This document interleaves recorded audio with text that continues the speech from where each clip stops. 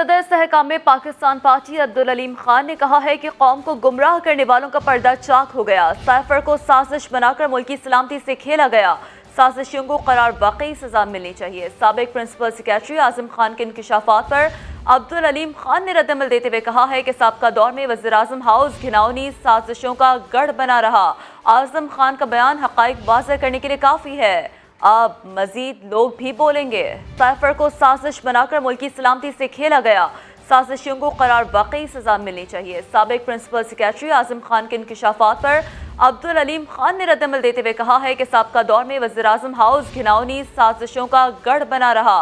आज़म खान का बयान हक वाजह करने के लिए काफ़ी है।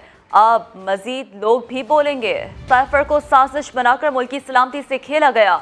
साजिशों को करार वाकई सजा मिलनी चाहिए सबक प्रिंसिपल सेक्रेटरी आज़म खान के इंकशाफात पर अब्दुल अलीम खान ने रद्दमल देते हुए कहा है कि सबका दौर में वजी अजम हाउस घिनौनी साजिशों का गढ़ बना रहा आज़म खान का बयान हक वाजह करने के लिए काफ़ी है अब मजीद लोग भी बोलेंगे